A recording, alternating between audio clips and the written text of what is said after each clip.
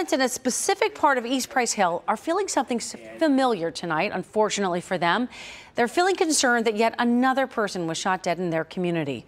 Reporter Valerie Lyons talked to those working to make a positive change. It's regular at this point, and I'm not happy about it.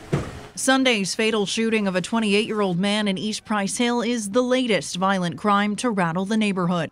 Anthony Jamison was found dead outside this apartment complex on Elberon Avenue, the same spot a 34 year old mother was shot and killed a year ago. Oh, I remember that because actually I drove by the morning after that murder also, and there was crime scene tape just left all over in a pile of uh, mattress and, and garbage. Amber Kassem is the Quality of Life Chair for the East Price Hill Improvement Association. An advocate for public safety, she logs every reported crime in her community. Since last year, there's been more than 1,000 crimes, approximately 30 of those on the 800 block of Elberon alone.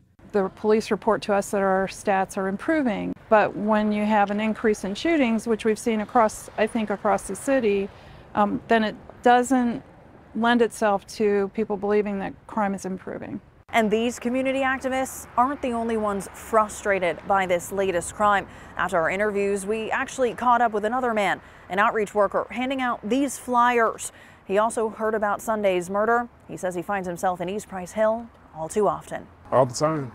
We've uh, been out here off and on for the past six years now, and unfortunately, every year there's a shooting somewhere. Charles Williams is with Cincinnati Works Phoenix program and hopes to end gun violence in the city. My thoughts are that we need to come together, you know, and find better ways to resolve our conflicts other than resorting to violence.